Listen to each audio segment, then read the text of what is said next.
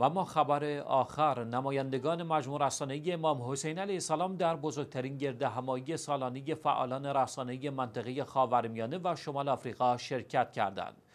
در راستای دسترسی به جدیدترین فناوری‌ها و خدمات رسانه‌ای نمایندگان مجموع رسانه‌ای امام حسین علیه السلام به عنوان بزرگترین مجموع رسانه‌ای مستقل شیعی در نمایشگاه کابسات حضور یافتند.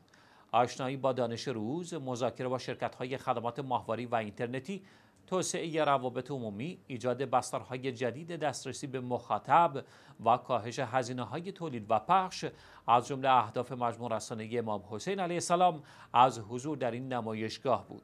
نمایشگاه کاپسات 2019 مکانی است که در آن بزرگترین رسانه های منطقه و جهان با بهترین و بروزترین شرکت های خدمات ماهواری اینترنتی و تجهیزاتی دیدار می کنند و در جریان آخرین پیشرفت های این شرکت ها قرار می گیرند.